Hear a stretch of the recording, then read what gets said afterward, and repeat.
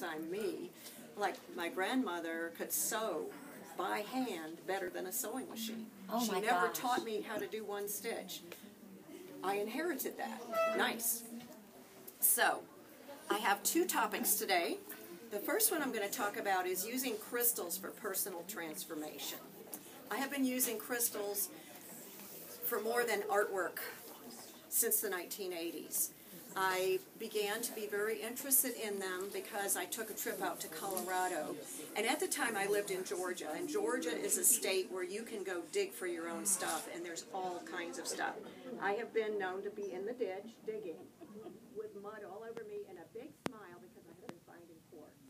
And there's many other things as well, especially up in the mountains. Uh, there's sapphires, there's rubies, there's gold. There's even gold until the gold rush of 1860. Most places in Georgia, still very Now go into the farm. So I don't think you see the grass. So, what I've learned about crystals is they are more than just pretty. They actually have a power and a presence. And later on, I made friends with some of the areas that call them stones. And I like the idea of the stones because they have some layers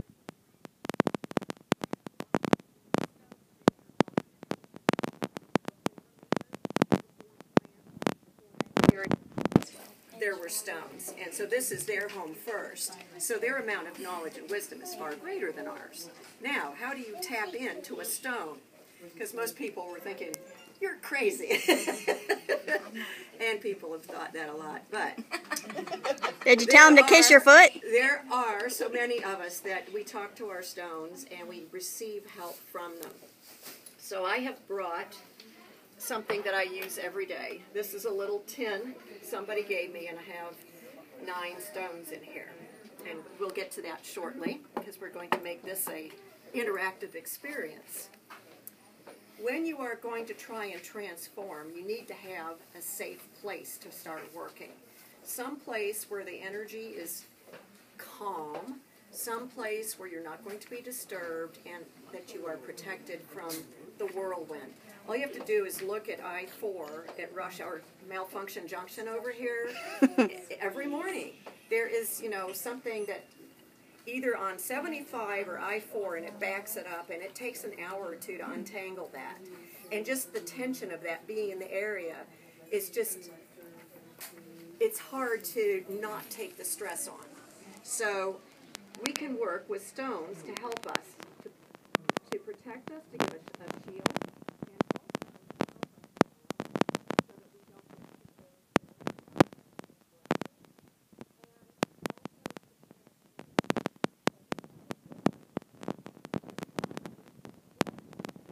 too size of a pulpit Bible by Melody, and it's a hundred dollars for this book. And I haven't got it memorized, and I have several books. I like to work with the stones myself because they will talk to you directly. And you make friends with your stones, and your stones will work with you. They will give you calming. You have to work with your chakra system, your energy body, and realize we have within our physical form some things similar to stones. They're called bones, teeth, made out of calcium. We've got iron in our blood, that's a metal. That's why we resonate to each other. So, the very first thing that we need to do to have a calm place is, and we're going to work with stones, we need to cleanse the stones. All right? I keep these in here, and these are sacred cloths that have been blessed. This is an Apache tear. It's a piece of obsidian. Obsidian is volcanic in nature. It's actually glass that was spit out by a volcano. And when it went it went up into the air and it made these little blobs that then fell down and hit the sand. Which is why, and this one I particularly like. You want to pass that one around? Got a heart on it. That's what I said. Mother See, Nature made that, and I'm supposed to be Mother Nature today. Mother Nature put that heart on that rock. So this set of mind us touching stones. I guess. there are nine of them, and the one that goes in the center is the most important. In your physical form, the center of your body, is you've got two centers, but your heart is what keeps your whole body going. So your heart chakra right here over the physical heart, but in the the exact center of the body, is similar to having the stone that goes in the center of a layout of stones. Obsidian, also, as you will look at it, it's black, it's volcanic glass. Anybody ever heard of the Aztecs? These were not little poofy guys, were they? they were pretty mean. They made their weapons out of this. And when you cut it, like the caveman used to with flint, and he was making, you know, spearheads and things, you cut this, and the edge is one molecule wide. This is sharper than any metal.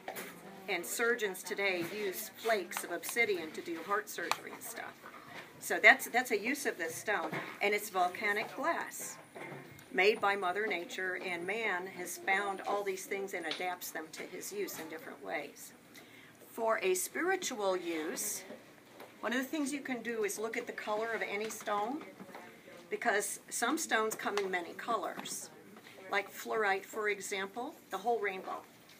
And my favorite is the, the two-tone one. It's called watermelon because it's green on the outside and pink in the middle, just like a watermelon.